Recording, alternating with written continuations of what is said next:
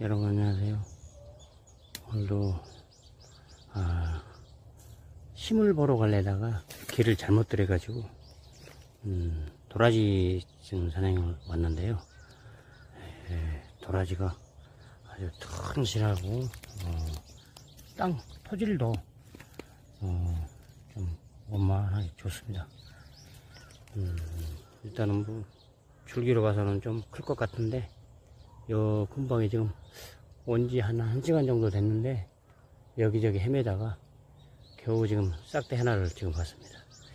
참 이게 도라지가 가면 갈수록 귀해져 가지고 도라지 찾기가 참 힘들어졌습니다. 근데 아, 이게 참 도라지 씨앗을 뭐 겨울부터 좀 뿌려주고 다니긴 다녔는데 참 가면 갈수록 자연산 도라지 찾기가 힘들고 또 저희 같은 경우는 어, 먹도라지 위주로 산행을 하기 때문에 음, 그 먹보다는 지금 백들이 많이 보이고 있어요 지금 지금 원래는 지금 도라지는 겨울에 채취를 해야 되는데 겨울에 싹대 찾기도 힘들고 그래가지고 오늘 어떻게 오다 보니까 도라지 산행을 하게 됐습니다.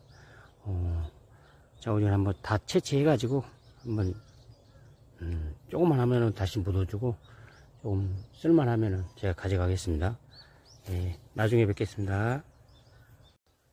예, 다 채취했습니다. 아, 멋진데 밥먹 같았는데 예, 아, 멋집니다. 아, 다음 영상에 또 뵙겠습니다.